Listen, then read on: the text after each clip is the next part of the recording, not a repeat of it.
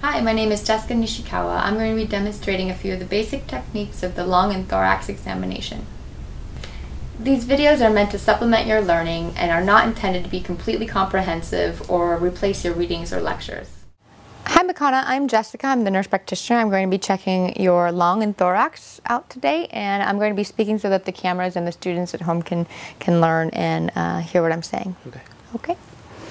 I'm starting, as I do all systems, with inspection. So um, in this case, uh, I'm going to start and just inspect, palpate, percuss, listen to the front side of his anterior chest, and then at the end I'm going to have him uh, turn and we will um, do this do this over again on the posterior aspect of his chest. When you're in clinical practice, you might choose to inspect both sides at once and then palpate both sides at once and then listen to both sides at once. Uh, but for the purposes of today, we're going to uh, do the anterior side and then we'll turn him around and do the posterior side.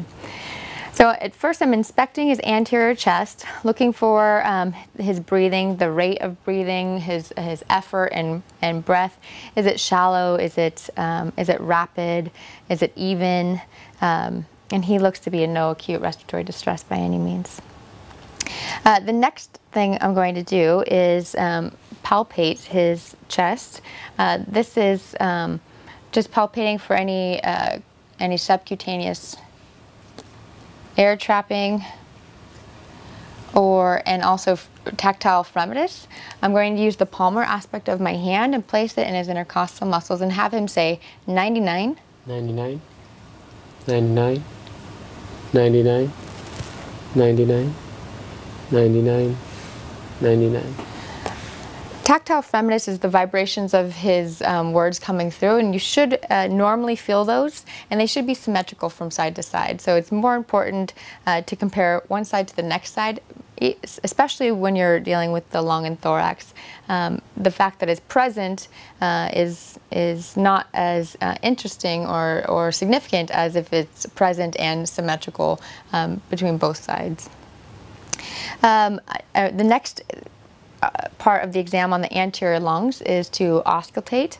So I'm going to use my stethoscope and use the dia or the yeah the diaphragm of the stethoscope and auscultate his lung field. So, uh, Makana, when you feel my stethoscope placed on your chest, just take a deep breath, okay? okay. I'm going to start with the anterior chest and then listen um, and note where I place the stethoscope in that I go in a ladder position, always comparing one side to the next side, uh, and put the stethoscope in, a, in, approximately the same area on the opposite side. I like to start my examinations even above the clavicle where the anterior lung fields are, so take a deep breath for me, in and out. Good, and out again.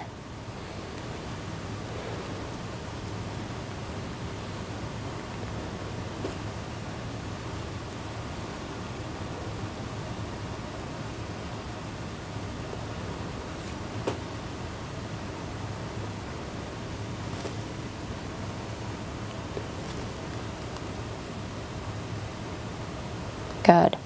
In women, or in men, if they have large breast tissue, it's uh, important to get a good assessment. So you can actually have the patient, just ask the patient to lift up their breast tissue so that you can listen, uh, listen to the appropriate positions that you need to.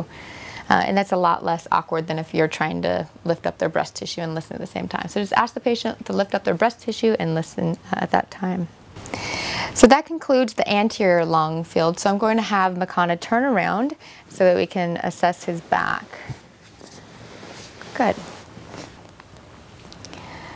So now that Makana has turned around, we're going to take a look um, at the back side of his chest. And again, we start with inspection, um, looking that his chest rises symmetrically and falls symmetrically, uh, looking for the rate, the work of breathing, looking for any um, I, I, didn't mention this on the in, on the on the anterior chest, but looking for any intercostal muscle use, um, and then next, after that, we're going to um, percuss his lung fields. You can do this on the anterior side also. It's a little bit harder uh, because of the musculature of the anterior chest wall and the breast tissue in, in female. So, um, but percussion, uh, you want to um, stay away from the scapula because obviously that's going to be a dull sound. Uh, but percussion, again, um, with your non-dominant hand, you place it on the area you would like to percuss. I use my middle finger. And then with your dominant hand, middle finger, you um, strike the, uh, the DIP joint of your um, non-dominant hand and then release. So it's, it's a quick tap, tap, and release so that you don't muffle the sound. So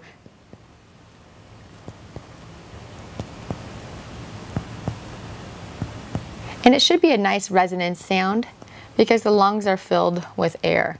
If you palpate over a rib, uh, then you're going to get that dullness because it's going to be um, a dull, uh, bony sound. So you want to palpate in between the ribs and the intercostal muscles. Um, and so you'll percuss down,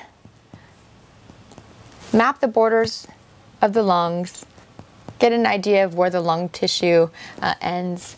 Um, the next step then is uh, to do a test that um, we call diaphragmatic excursion. It maps out um, the diaphragm's movement during insp full inspiration and full expiration. So I'm going to have Makana take a deep inhale and hold it. While he's doing that, I'm going to percuss down and mark the area where it changes from resonance to dullness. So it's right there. So if I had a pen, I would mark right there. And I would do the same thing on this side. And I would mark right there. Go ahead and exhale. Okay, and then take a deep breath and then exhale it out and hold your exhale. So once he's completely exhaled, I would start over again. And you can either start from here and, and percuss down, or you can start from down here and percuss up to where it sounds from dull to resonance. And then you mark that area. You do the same thing on the opposite side, and they should be equal from side to side. And you mark how the change of um, where the resonance and dullness is. And this change here is the diaphragmatic excursion. It's the amount that the diaphragm moves during inspiration and expiration. That should normally be between three and six centimeters. And someone who's well conditioned, a well conditioned athlete whose lungs are um, really um, really in shape, they can sometimes get up to seven and even eight centimeters.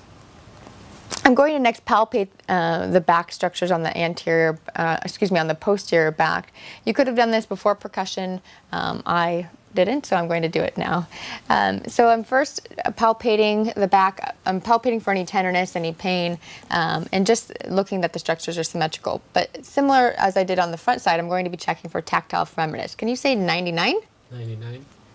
99, 99, 99, 99, 99. And you'll note that if you feel over the scapula like I just did, you don't really hear any uh, of the vib you don't feel any of the vibrations in your hand. But over the lung fields, you feel good vibrations. And even more importantly or significantly than the, the fact that you can feel them is that they're the same from side to side.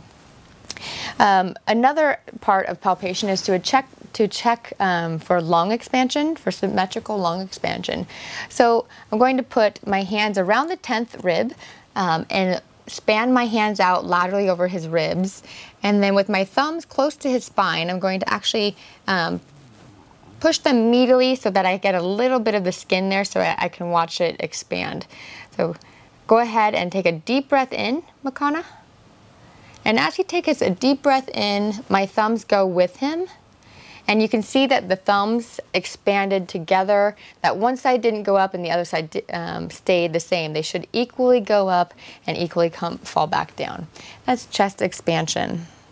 Finally, we're going to end with um, auscultation of the posterior aspect of the lungs. Similar as we did on the anterior side, it's important to check one side comp and compare it to the other. Whenever you feel my stethoscope touch your back, if you could take a deep breath in and out, that'd be great. And actually, Makana, I'm going to check underneath your arms as well. So if you can put your arms um, out like this, that'd be helpful. Okay, and I, again, I start up really high to the anterior lung fields. Good. You want to avoid the scapula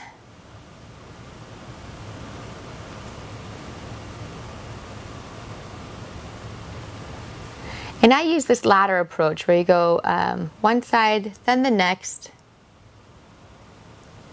and then down on that same side, and then the next, and then over to the lateral side.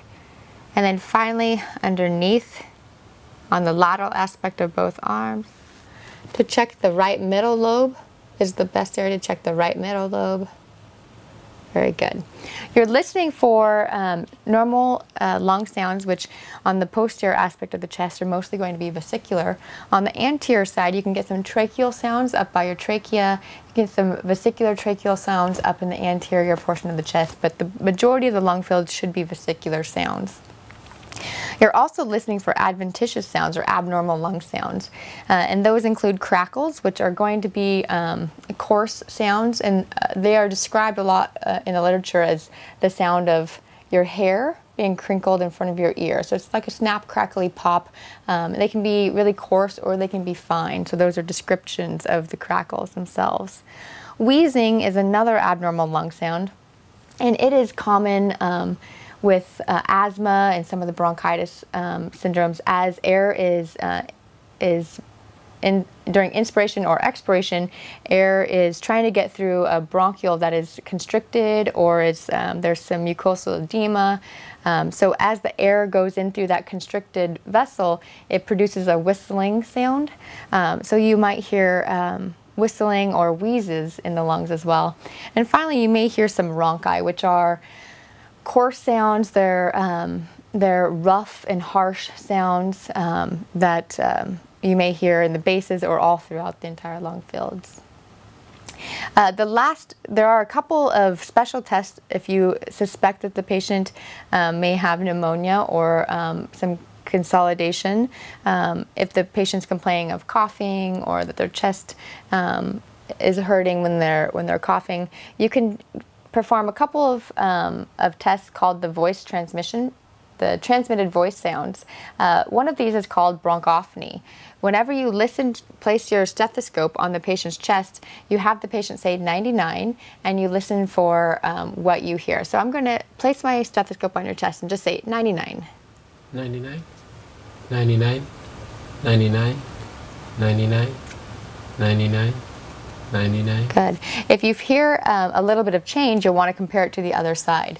Usually the voice should be muffled and indistinct. You shouldn't necessarily hear them say 99 very clearly.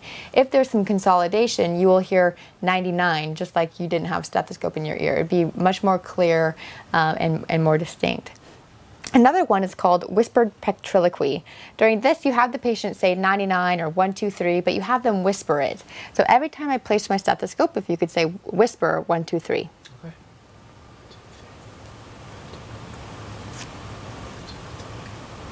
And I can tell that he's saying it because I can watch his mouth move, but I can't hear anything, which is a normal, which is a normal uh, finding. If I could hear him um, through my stethoscope through his lungs, uh, then that means that um, he has some consolidation and, and sound travels better through consolidation. Um, so that's how, why we would hear it better. So his whispered one, two, three would actually come um, out clear when I'm listening to him.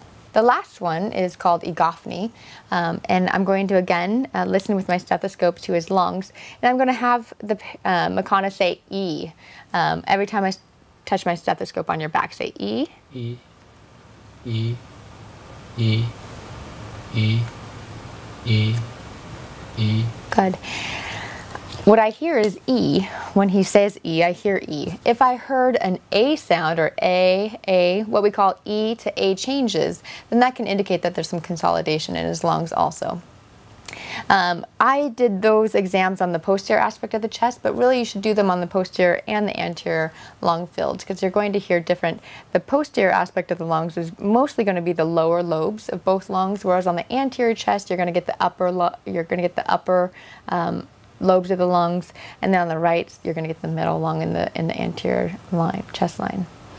So that concludes our um, lung and thorax examination today. Uh, thank you all.